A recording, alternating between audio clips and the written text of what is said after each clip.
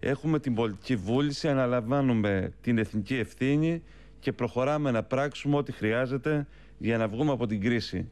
Την ίδια αίσθηση ευθύνης οφείλουμε να επιδείξουμε όλοι μας.